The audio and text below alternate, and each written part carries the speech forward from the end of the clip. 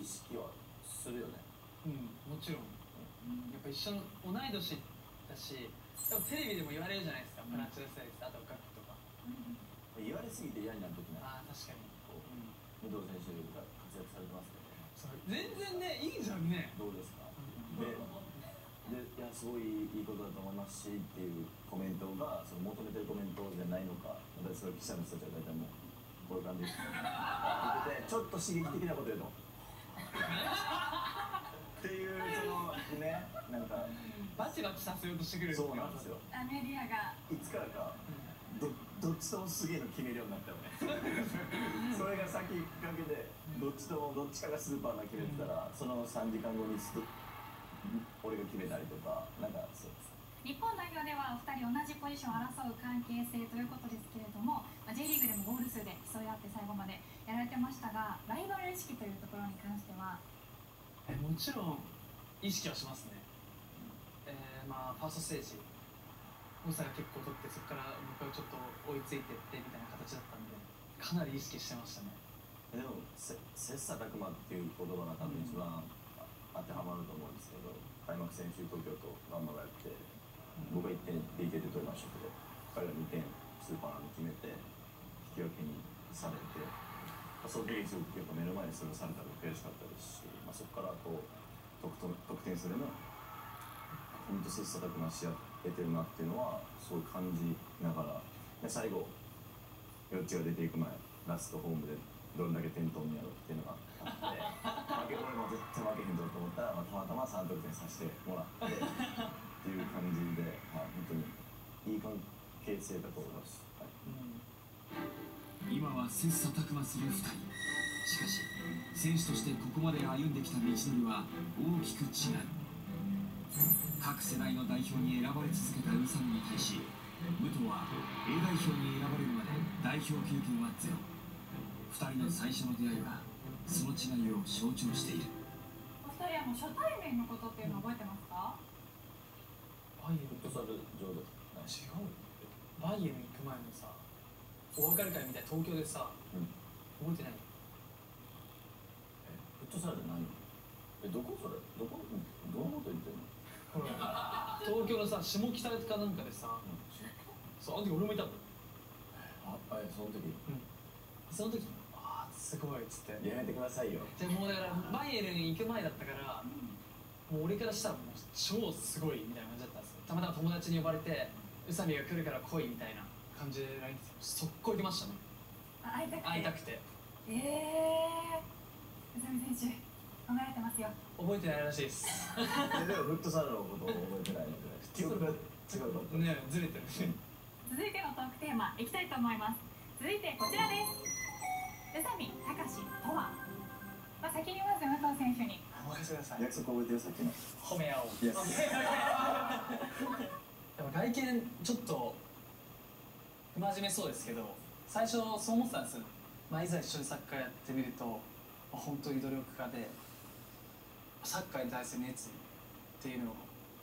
うんすごい感じてまあサッカー面はも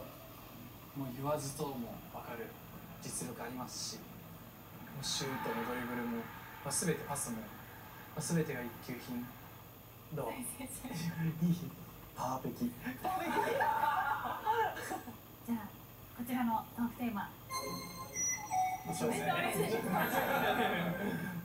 これはまあ宇佐美選手に答えていただきたいんですけれども。サッカーの面ではもうもう見ての通り素晴らしい選手であることは間違いないですし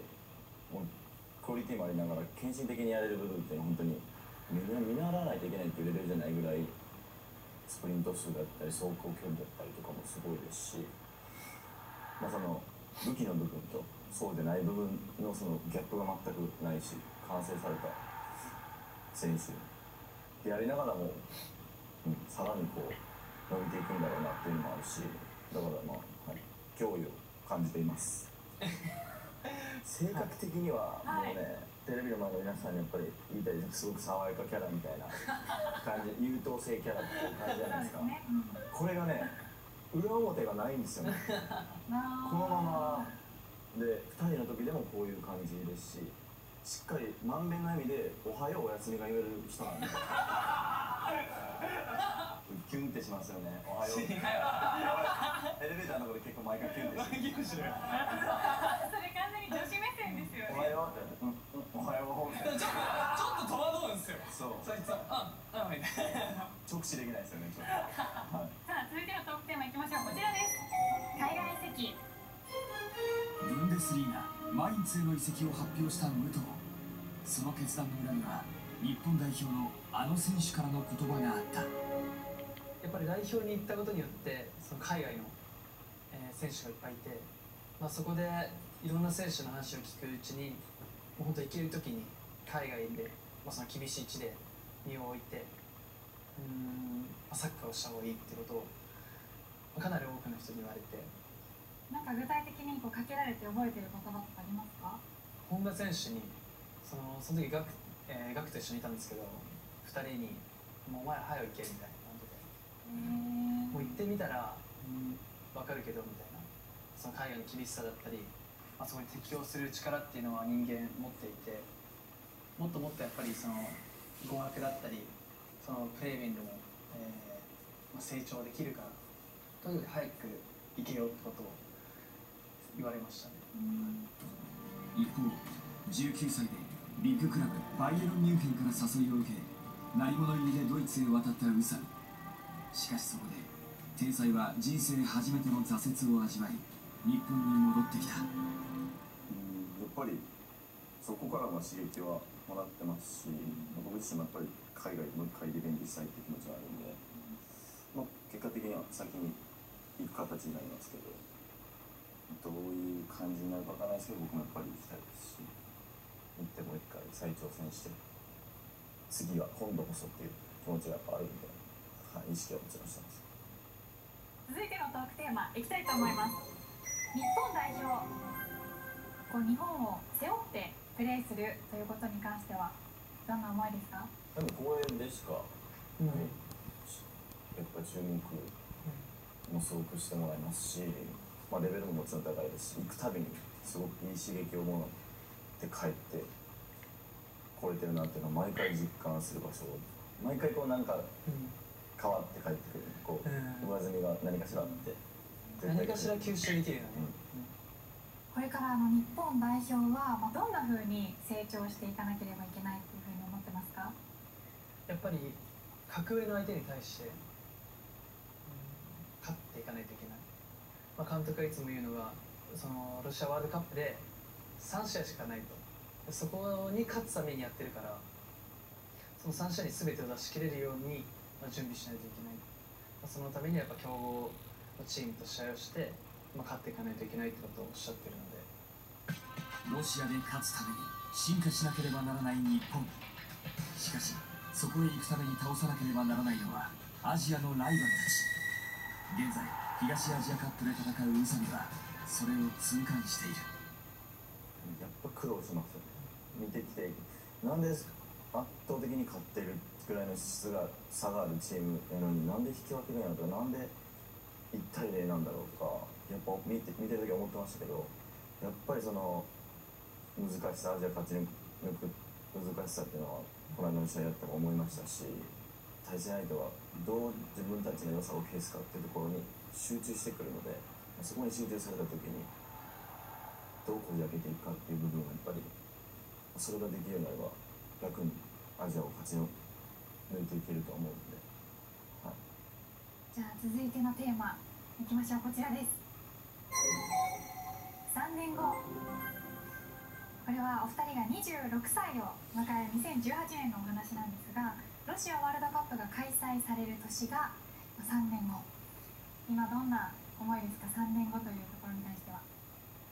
まあ、自分も宇佐も多分同じだと思うんですけど小さい頃からワールドカップに憧れててそこで活躍したいっていう夢があるんでやっぱ何が何でも最後最終的にそこに立ってたいと思いますし。もう3年後絶対に